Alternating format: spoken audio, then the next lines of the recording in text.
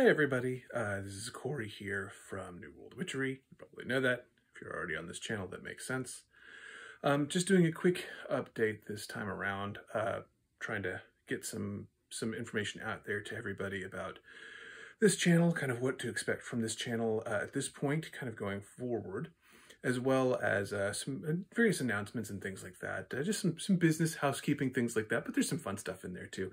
Uh, I also want to talk a little bit about uh, a little challenge that was put out there by a fellow YouTuber, a fellow witchy YouTuber that I would like to answer and respond to. I think it'd be kind of fun to talk about. Um, so before I get to any of that, I do want to say thank you so much to all of our recent contest participants. Well, we did a contest where um, several people uh, submitted uh, survey responses for uh, a survey having to do with uh, campfire ghost stories and things like that, which turned into our All Hallows read this year. Uh, and I really appreciate uh, the folks that sent something in that way. Um, we were able to put together a few episodes for wide release and then an extra, there's an extra story floating around. If you're one of our Patreon supporters, you can check that out too. And you get all of them as one single batch of stories in that uh, Patreon version of it too. So uh, if you like getting all of your stories together at once, it's a good way to do that. Uh, that's shameless self-promotion, I suppose, but that's, uh, but we just wanted to say thank you for that. Uh, we also had a survey going on. That's in um, the campfire one is closed, but uh, the other one is still open. Um, there's no more entries for the contest related to it, but uh, if you want to, you can still submit to the other uh, other um, survey we've got going on. That survey is all about uh, uh, sort of spooky games that you played at sleepovers as a kid, uh, or maybe you still play them. I don't know. I don't know what you do. I don't know your life. Um, but uh, whatever it is, uh, things like, you know, did you play with Ouija boards? Did you play uh, Bloody Mary? Did you play uh, Light as a Feather, Stiff as a Board? Um, did you play, um, you know, palm reading or anything like that? Um, or maybe even some of the newer games. Maybe you've tried the Three Kings writer or things like that. Um, and if you have, uh, I'd really love to hear about your experiences doing uh, doing those games. So um, doing some research on that for a project. And uh, so if you're interested in that, you want to share your experiences with that, please feel free to, to do so. You can still submit that. And again, huge thanks to those who did submit uh, while we had the contest open. That was really, really awesome. Um, got a lot of submissions for that between uh, the people who support us on Patreon who automatically got an entry into that contest and all the submissions we got. Um, we got well over 200 uh, responses for that. So um, thank you. It was amazing. Uh, and I should also uh, tell you uh, who won. I'm sending out an email to everybody who won. The prizes were uh, uh, a group of books. we had a whole stack of books, everything from um, Christopher Orapello and Tara Love Maguire's Besom, Stang, and Sword, uh, to a couple copies of My 54 Devils. Um, we had uh, Making Magic by Bree Saucy, uh, just a whole whole stack of them, uh, just things that I've sort of accumulated and ready to send out into the world. Uh, and so um, had uh, 10 winners that we are going to be sending these books out to. so congratulations to our winners, Brittany, Stevie, AF, Jennifer, Heidi, Tyler, Bobby, Kat, Mara, Wolf, Jen, and Conjured Cardea. Uh, so huge thanks to all of you, um, either for being our supporters on Patreon uh, or for uh, sending in your submission to the, the contest by filling out the surveys and things like that. Huge, huge appreciation for that. So congratulations to all of you. Uh, so that brings me to kind of the other two things that I wanted to do in this video. Uh, one uh, recently, uh, Athena Beth, uh, who some of you may know, if you if you watch this channel, you probably watch Athena Beth's channel. If you don't, you should. Um, I'm gonna get gonna get into that in a second. Uh, she had a fun discussion about kind of witchy YouTubers that she watches. Who are the witchy YouTubers that she watches? And she mentioned uh, she mentioned she mentions us a lot, which I'm really flattered by. I think that's really sweet. Um, I, I, adore you, Athena Beth, and it, you know I've, I've actually gotten to meet you, which is kind of awesome. Um, but uh, but she was saying like she really enjoys listening to our podcast, um, and uh, then she sort of started talking about some of the channels that she watches on YouTube um, that have witchy or witchy adjacent content. And so I was thinking it might be worth sort of mentioning. Uh, you know, I do spend actually quite a bit of time on YouTube. Um, partly for research purposes. There's actually some some fun research stuff I do with that, um, having to do with those those uh, those uh, sleepover party games. And then uh, the other thing is, you know, my kids are, you know, the age where they're watching YouTube videos and stuff like that. So I have to kind of monitor their content and stuff like that within reason. Uh, and so I wind up watching a lot of the same stuff they do. And sometimes that stuff has some interesting witchy overlap. So uh, I wanted to talk a little bit about some of the channels that I really enjoy and why I really enjoy those channels, um, and, and maybe you know encourage you to go visit those channels as well, uh, and then see you know if any of the if any of those channels want to talk about some of their favorite uh, witchy content out there in the in the the video universe. Um, so first of all, obviously Athena Beth. Uh, Athena Beth has a really, really lovely channel. She does all kinds of uh, fun stuff on there, ranging from um, talking about kind of her her sort of personal life and the, the things that she does in her daily life, um, her altar setup and things that she's sort of put together in her home, her witchy practice, um, and then all you know she does shopping trips. Like I think she's done a shopping trip to a to Trader Joe's and sort of taken us along with her uh, to Michael's as well. She'll show us kind of what's going on in her her her witchy world, so to speak. And she's really personable, really warm, really interesting, um, and she points you in the direction of a lot of really uh, good resources as well. That's kind of one of the, the great things about her. She is sort of a crossroads uh, where you can you, you, can enjoy her content and then she leads you to the next content that would be uh, worth your time. So I really appreciate that. Um, uh, some other channels I really really like uh, Benebell Wen, uh, who he, she may uh, she may be posting mostly under the Bell Chimes In might be how you have to kind of search for on YouTube, but but if you look for Benebell Wen uh, or if you look at the links that we're going to have down below, um, you can find her channel, and she is she's a remarkable uh, teacher and resource. She uh, wrote uh, a book on food, talismanic magic. She's designed and uh, been redesigning her own tarot system called the Spirit uh, Spirit Keepers Tarot. Um, she's very knowledgeable about Western esotericism, uh, deeply, deeply knowledgeable about tarot, also incredibly knowledgeable about Taoist folk magic and folk sorcery. We've actually had her on the show to talk about several of those things before. Um, and her channel is just packed full of good information. She's very, very uh, interesting to watch. She she gives you great information. Uh, right now, she's been kind of taking us through the redesign of her tarot, um, and she's doing new art, and it's it's amazing the level of research she puts into it. Like she'll research the cloth that she's uh, designing for a character on her tarot cards to make sure that it is historically and culturally accurate to that character. And I just I'm I'm over the moon for, for what she does. So highly recommend uh, Benebell Wen. Also uh, recommend uh, Chuang Ku, who does the Witches and Wine YouTube channel. Um, uh, I was going to say we've had her on the show. We actually have her coming up on a show uh, at some point in the near future. The interview's done. I just it has to be released.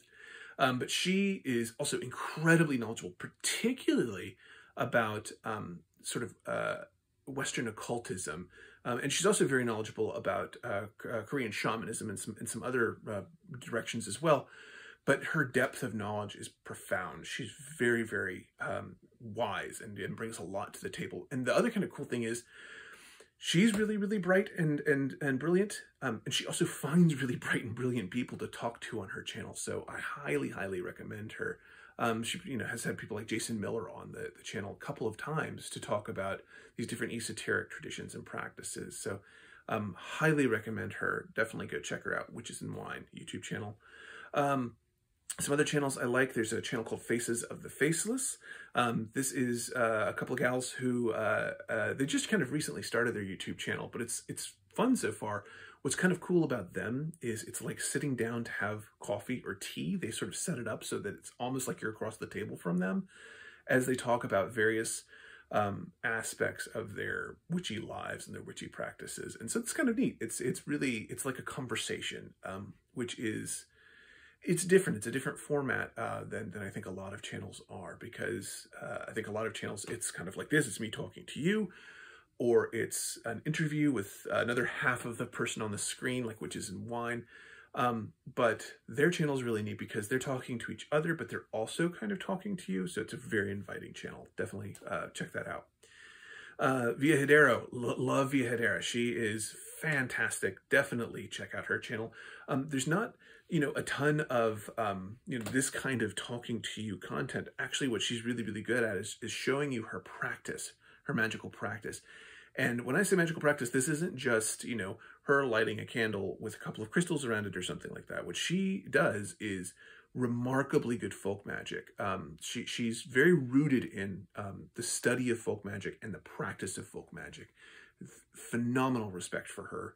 Um, she's got a book coming out that uh, is absolutely, you know, uh, I've got a book coming out on North American folk magic, but I would also say like her, hers is kind of an essential read on North American folk magic. You really should check it out. Um, and, uh, and my publisher may not like me saying you should, you should get her a book. And maybe also my book but definitely her book. Um, uh, get both of her books. Why not?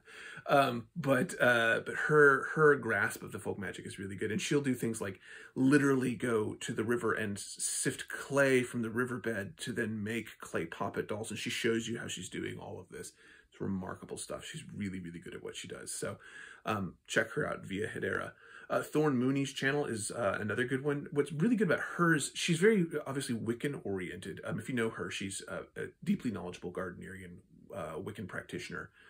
Um, but she's also really good at looking at kind of uh, modern occult history, and that's kind of a cool thing that she's bringing in there. She's not trying to, you know, Wicca wash anything. She's not trying to um, obscure any information. She's very forthright, very direct about kind of contemporary issues and uh, the, the issues surrounding the history of Wicca, um, particularly in North America, but she gets into, into other aspects in other places as well. So um, very, very thoughtful discussions that she has there.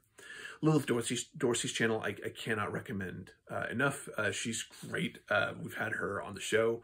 Uh, I think a couple of times now. Um, she talks a lot about kind of her African traditional religious background and roots and things like that, as well as kind of her contemporary practice. She writes about all kinds of magical practices. So she's fantastic. Highly recommend her. Um, definitely go check her out as well. Um, and then Chris Orapello, uh, Chris Orapello and Tara Love Maguire uh, also have a channel. Uh, it's mostly Chris, I think, at this point on the actual channel. Um, and, and I'll say, uh, I love their channel. It's really great. They've done things like showing you how to make a scrying mirror. They don't post all that often, and I know I'm saying that. We barely ever post on this channel, it seems like. Um, but um, it, they were doing really, uh, they were doing fairly regular to post for a while, and then I think they haven't for for a couple of months. And now I'm like, oh, I really, I want more from them. So this is this is maybe my like, hey Chris, hey Tara, would love to see more from you. Um, sort of a, a, gentle wink, wink, nudge, nudge. Love to love to have more on your your uh, channel content. Um, so those are kind of the ones that are sort of openly, directly witchy uh, YouTube channels that I watch quite a bit. I also want to mention a couple that are less directly uh, witchy, uh, just because I think they're the ones that may be of interest to you. Uh, and these are ones that I bump into through interacting uh, with my kids' channels and stuff like that. One is Christine McConnell. Um, she had this uh, this YouTube or no, sorry, uh, Netflix series for uh, one season, which basically combined these kind of roadkill style Muppets from the the Muppet studio, the Jim Henson's Muppet Shop, and her sort of savvy for making really interesting, slightly macabre crafts. So she'll do, uh, like she'll reupholster a couch and it'll look like something that should be in the background of, you know, a really good uh, vampire film because of the way it's designed. Um, or she, one thing she did was she made an entire gingerbread house for the Winchester Mansion, which is this really famous haunted mansion. Um, remarkable work that she does, really detailed, very, very interesting. She has this kind of mid-century slash slightly Victorian Edwardian feel to, to her her sort of uh, look and aesthetic, but there's a, a, a, sort of soft macabre feel to what she does, and there's little bits of witchy stuff that seem to sort of play at the edges of that, and I dig that.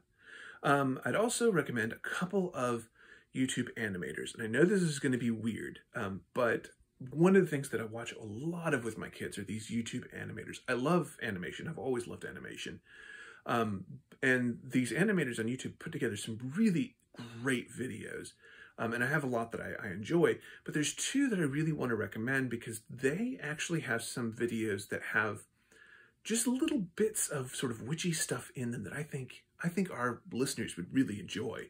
Um, one is Illymation. Um, it's uh, we'll put a link in the show notes, but um, Illy at Illymation does these they're just kind of her life videos and she's done videos that dealt with deal with all kinds of things like um she had a, an abusive relationship she got out of so she talks about that she's talked about like school lunches growing up so some of them are you know very typical everyday stuff but she also has some interesting videos floating around out there about things like um, she went and got a tarot reading, right? And she actually knows tarot. She does tarot herself, but she when she wants to get a reading, she goes to someone else. And so she talked about this experience. She sort of frames it as, you know, this is a, an interesting therapeutic psychological tool uh, in her case, but there's also some elements of like, she, she definitely has a, a feeling like the tarot has some significance for her. Um, and her discussions of it are thoughtful. They're, they're thoughtful and, and, and interesting. Um, and so I, I, really recommend it. It's just something that's kind of fun to watch and it, it sort of destigmatizes some of that. I think that's kind of cool. Uh, the other person I really enjoy is Let Me Explain Studios. This is Rebecca Parham's channel. Uh, Parham is, uh, she, she's a professional animator. She has her own studio. Um, and she has largely done kind of, you know, sh short commercial work, but she did this own, her own sort of YouTube channel on the side. And it's sort of blown up on her. Um, she's really good. She's a really good animator. Um, but then on the other aspect of that, she's also kind of got this interest in the sort of witchy side of things. Um, I wouldn't go so far as to say like her stuff is witchy, except for she has one episode where she talks about how slumber party games are uh, witch meetings, right? So when you have a slumber party, it's essentially a coven meeting. Um, and it's a great, it's a great video. She breaks it down and really explains like why each thing has this sort of witchy feel to it. And she talks about the fact that she, you know, she wants to be a ghost story is kind of what she says. And she wants to be the witch of the woods. And, and she's even, uh, her recent videos have sort of leaned into that a little bit. Um, so I really dig that. I think that's kind of cool. I think she's she's kind of uh, an interesting person to sort of follow and see how she weaves in some of this stuff. And it's not heavy-handed. It's not um, every video is not that. It's just little bits here and there, but it's something that can be a lot of fun to again kind of destigmatize some of this stuff. Um, and also, you know, enjoy with if you have kids. Uh, it's great. If you don't, cartoons are great for everybody. Everybody. Um, we're, we're in a kind of a golden age of cartoons at the moment, so you should be checking checking out more cartoons. Is all I'm saying. But these are some channels I really really like. Um, I'd also the one the one other channel I'll throw out there, and this is not one that updates anymore, um, but it it's a fantastic repository of information, and that's Peter Paddon's old Crooked Path channel. Um, I don't know how long they'll keep that up. I don't know how long they'll, they'll maintain that, but for right now, it's got most of the episodes of Crooked Path, his old podcast on there. Um, it's got a lot of videos that he recorded um, related to topics from there. Some some of his workshop material is on there. It's it's an amazing resource if you're into um, traditional witchcraft of any kind, particularly uh, traditional witchcraft with kind of a witchy uh, British bent. Um, he, he's a good resource, and and we miss him a lot um, in our community, I think. Um, so I do at least. So it's it's a great resource to have. I highly recommend you check it out. Um, so those are kind of the YouTube channels I recommend. Um, if any of you happen to be watching from those channels and you want to uh, throw your favorite kind of witchy YouTube channels out there, I'd love to hear what they are. Uh, feel free to tag us back so that we know that you've done that. Um, and I'd love to, you know, watch and see what you recommend as well.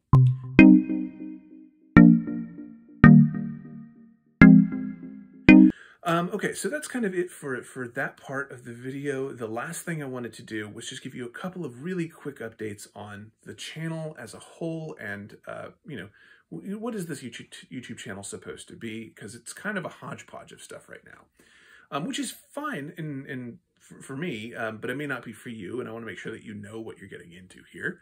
Um, so I'll say uh, we try to upload a couple of different things here. Uh, one, um, these kind of personal one-on-one uh, conversational videos where we you know do announcements or updates, maybe do a uh, little kind of in-person chats and things like that, um, because I think that those are uh, useful and people enjoy them. So uh, I, I, like doing those. Um, I don't do uh, as many of those as uh, I think a lot of other channels do, but I'm happy to do more if that's what people like.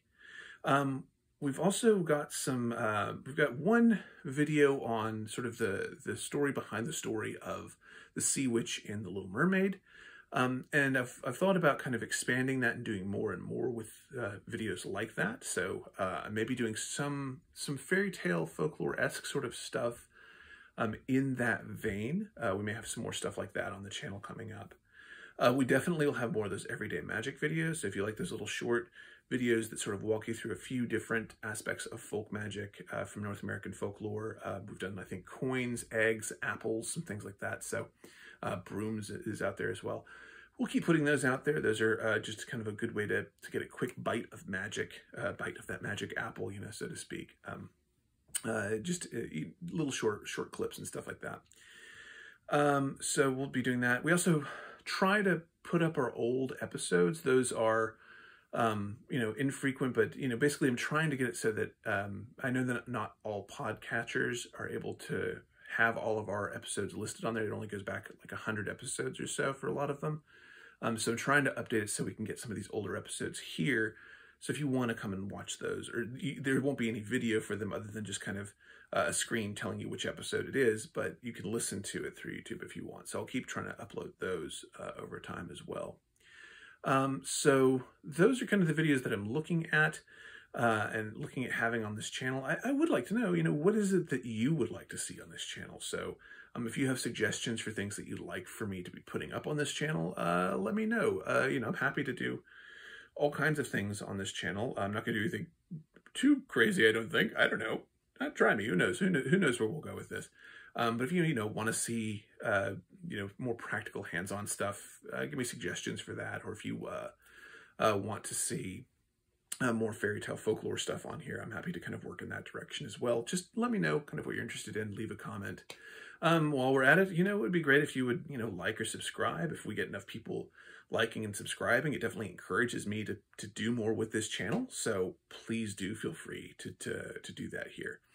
Um, so yeah, so that's kind of it for, for this one. Uh, I know it's a little longer than some of my other ones, but uh, hopefully covered a lot of ground here. Uh, hopefully pointed you in the direction of a few interesting YouTube channels you can check out. And uh, again, congratulations to all of our uh, winners for the contest. And thank you so much uh, for sticking with us and hope to see you more in the future. Thank you.